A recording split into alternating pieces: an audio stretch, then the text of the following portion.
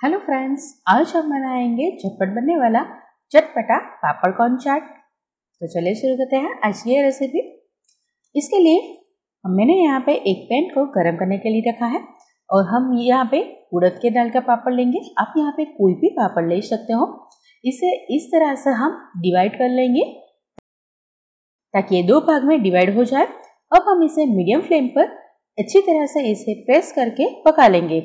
आप यहाँ पे फ्लेम मीडियम ही रखिएगा, ताकि हमारा पापड़ जल ना जाए, और इसे हल्के हाथ से प्रेस कीजिएगा, ताकि नीचे से ब्राउन ना हो जाए। हम इसे प्रेस करके दोनों साइड से अच्छी तरह से पका लेंगे। अगर आपको ऑयल में सेकना है तो थोड़ा सा ऑयल लगा लीजिएगा। जब ये पापड़ हमारा सेक जाए तो इसे इसे कौन बना लीजिएगा। ये थोड़ा सा गर्म ही होगा।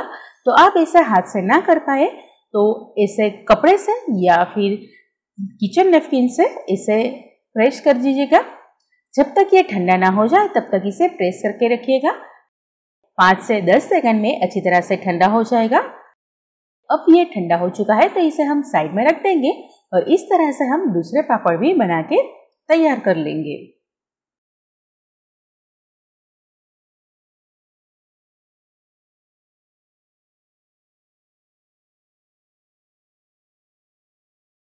अब ये सीख जाए, तब मैं इसे अच्छी तरह से कोन इसे बना लीजिएगा और इसे ऐसे कपड़े से पकड़ के रखिएगा ताकि आप जल ना जाए।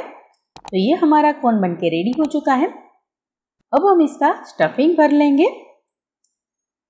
इसके लिए हम लेंगे आधा कप जितना बॉयल आलू। यहाँ पे मैंने छोटी साइज़ का बॉयल आलू लिया था, उस, उसे टुकड़ों में काट लिया है।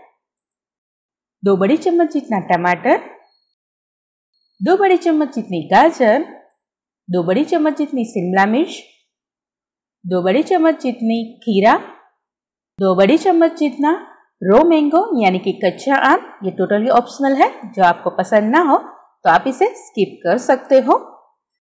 साथ में दो बड़ी चम्मच जितनी प्याज दो बड़ी चम्मच जितना धनिया, एक चम्मच जितनी हरी मिर्च नमक, आधी चम्मच इतना चाट मसाला, दो बड़ी चम्मच इतना चिवड़ा, या फिर कोई भी नमकीन, साथ में दो बड़ी चम्मच सेव और दो बड़ी चम्मच जितनी चना दाल नमकीन, या फिर आप तीखी बूंदी भी ले सकते हो।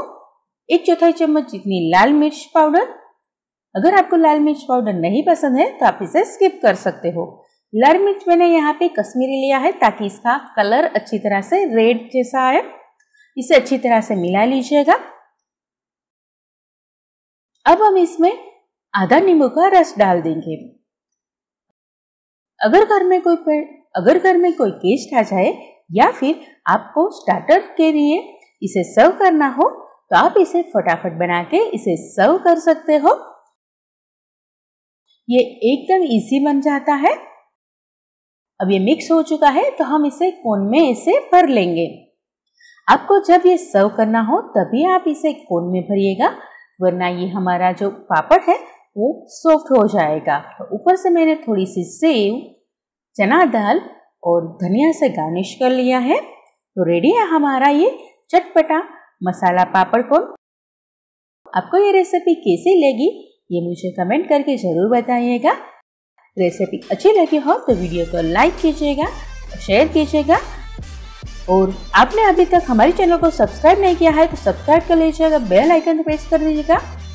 तो आप एंजॉय कीजिए मसाला पापड़ फ़ोन हम मिलेंगे नेक्स्ट रेसिपी के साथ। तब तक के लिए bye bye, see you, take care, जय श्री कृष्णा।